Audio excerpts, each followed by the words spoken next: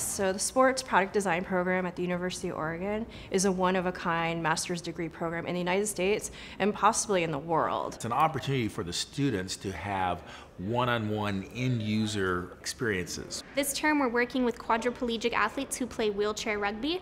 It's a full out contact sport for people who have limitations in their arms and legs. The coach of the US wheelchair rugby team gave us a list of like five products that they want us to work on. And so for this studio, I'm working on a heel stabilizing system that'll attach to the foot plate and then wrap around the leg to lock the player's leg in. Right now, I'm developing a glove.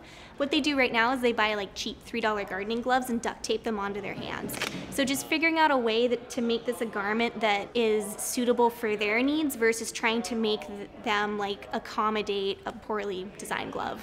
When you're designing for the end user, you are empathetic and you begin to feel what it's like to actually be that athlete. And that's really what great design is about. It's listening to the voice of the athlete it's emulating what the athlete is experiencing and, and designing for that moment.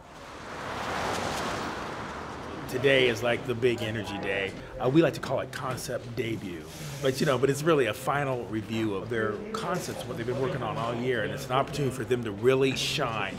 I mean, like most here would say, it's never really done. Uh, there's a lot of things I wish I could have done a little bit differently, but I'm overall pretty happy with where it's at right now.